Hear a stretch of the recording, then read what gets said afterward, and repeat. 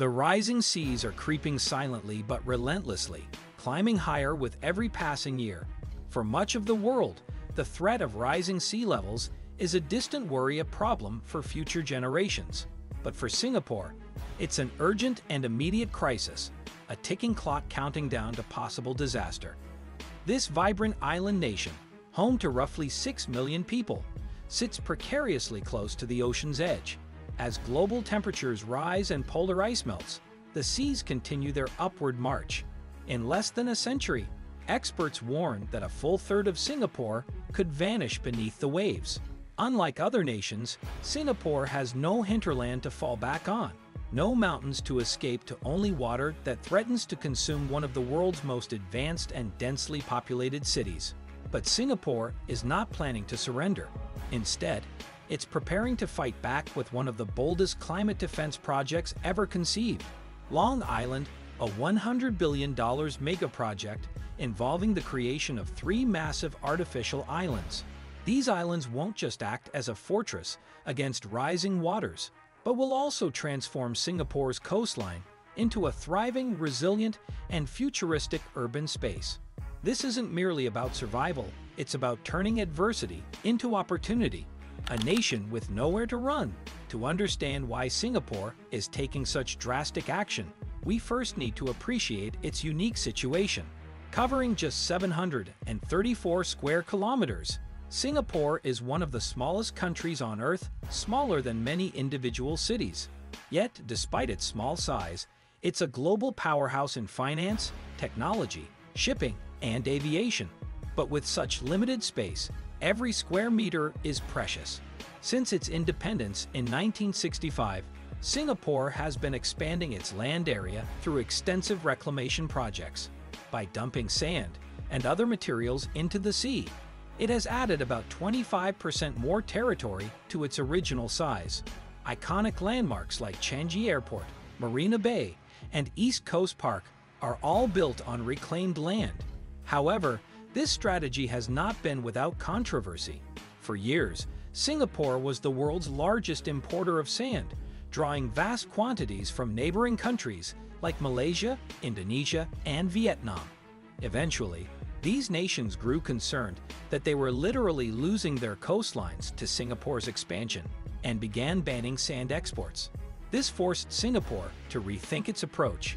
But the far more pressing issue now is not space, but survival. Climate change is accelerating sea level rise, posing an existential threat to Singapore's very existence.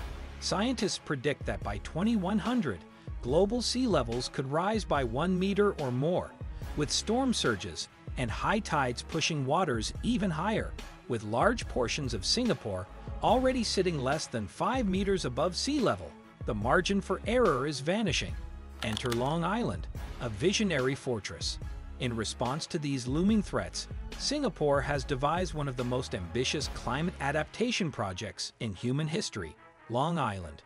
Costing an estimated $100 billion, Long Island isn't just about building more land, it's a comprehensive defense system that aims to protect Singapore from rising seas while creating space for future growth. The project involves constructing three colossal artificial islands off Singapore's eastern coast, spanning a combined 800 hectares, roughly twice the size of Marina Bay. Unlike previous land reclamation projects that focused solely on creating land for buildings and infrastructure, Long Island's primary mission is protection.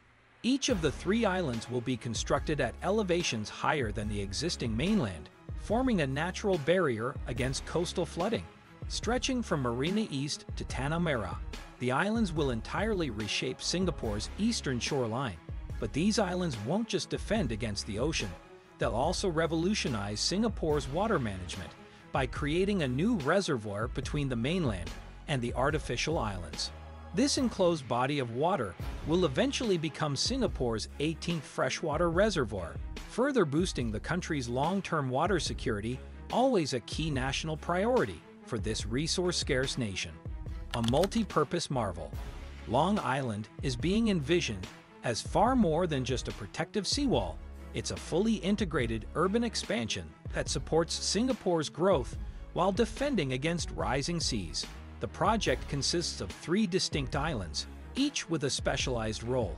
One will serve as a residential and commercial hub, featuring high-rise apartments, office towers, and commercial centers to alleviate land scarcity and accommodate Singapore's growing population and business sector.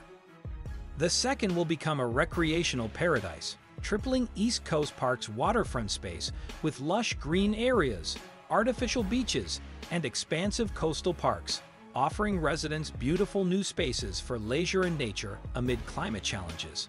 The third island will support aviation and industrial growth, expanding Changi Airport's capacity with new runways, cargo terminals, and aerospace facilities, reinforcing Singapore's status as a global leader in transportation, logistics, and trade well into the future.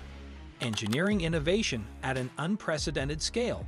Building Long Island will require some of the most advanced engineering solutions ever deployed in coastal construction.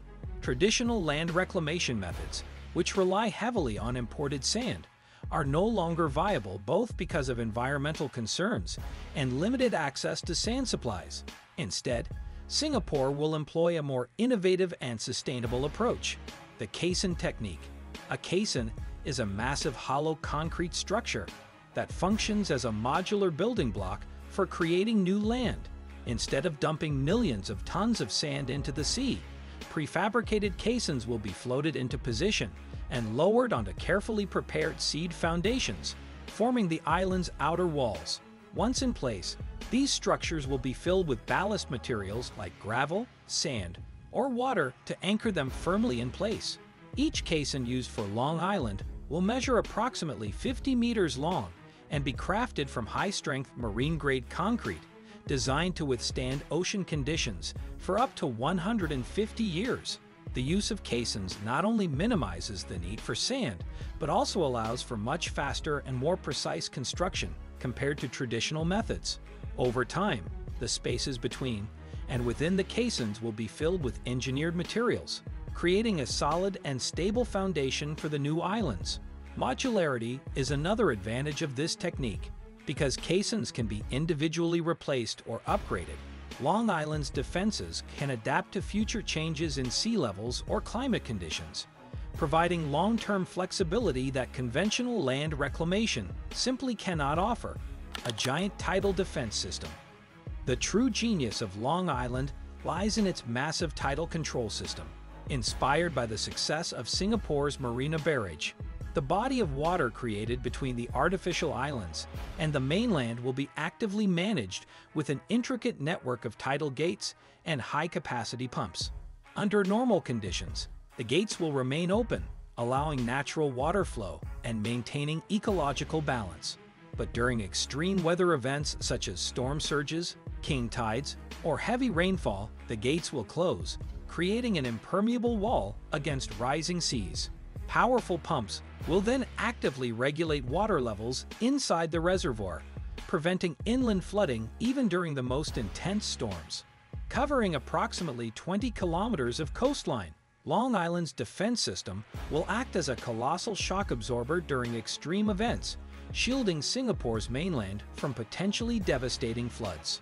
The enormous cost and enormous stakes, of course, such an ambitious endeavor comes with an equally massive price tag. Singapore's government estimates that the nation may spend at least $100 billion over the next century on climate adaptation efforts, with Long Island being one of the most significant pieces of that puzzle. Beyond financial costs, there are major environmental concerns as well. Singapore's extensive history of land reclamation has already taken a toll on its natural ecosystems. About 60% of its coral reefs have been lost, and marine habitats have been disrupted by past reclamation efforts. Environmental groups worry that Long Island's construction could further damage marine biodiversity, fisheries, and underwater habitats. In addition, some scientists argue that large-scale reclamation projects may actually release stored carbon trapped in seabed sediments, potentially contributing to global warming. Critics also question whether Long Island offers a permanent solution or merely buys time. If global sea level rise accelerates beyond current predictions due to rapid ice melt in Antarctica and Greenland, even Long Island's towering defenses may eventually be overwhelmed. A race against time. The Long Island Project is unfolding over multiple decades, carefully planned to balance cost, engineering complexity, and environmental protection. The first phase, extensive feasibility studies, environmental impact assessments, and public consultations began between 2024 and 2029. These studies will determine the safest, most effective design before large-scale construction begins. Actual construction is projected to start in the 2030s, with work progressing in phases over the next 20 to 30 years.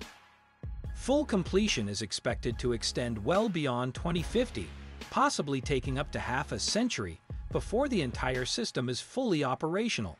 Singapore's defiant spirit, at its core, Long Island, is more than a construction project, it is a statement of national resolve. Singapore's Prime Minister Lee Hsien Loong has emphasized that climate change poses an existential threat to the country, on par with issues of national defense. For this small island nation, surrendering to the rising seas is simply not an option.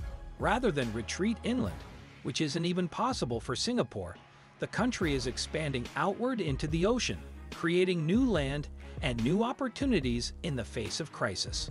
This bold gamble reflects Singapore's long-standing philosophy, meticulous planning, technological innovation, and an unwavering refusal to leave its future to chance.